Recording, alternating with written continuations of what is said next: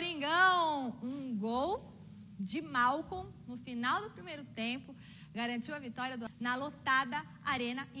Veja como foi o jogo. Na... 36 mil pessoas, recorde de público do Corinthians no Campeonato Brasileiro.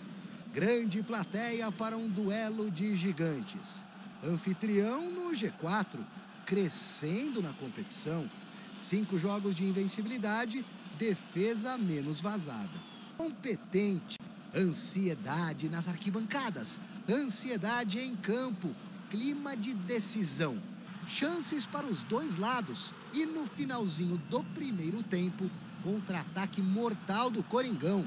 Wagner Love, Malcolm e Caixa para delírio da Fiel.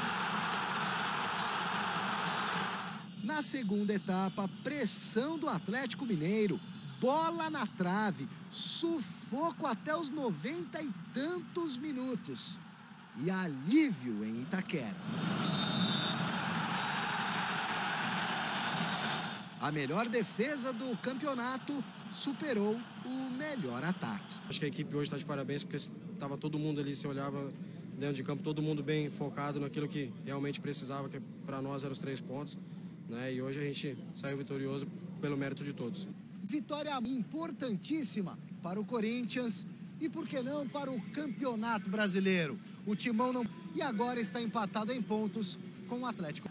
Os três pontos contra o Atlético são os mesmos três pontos do Joinville.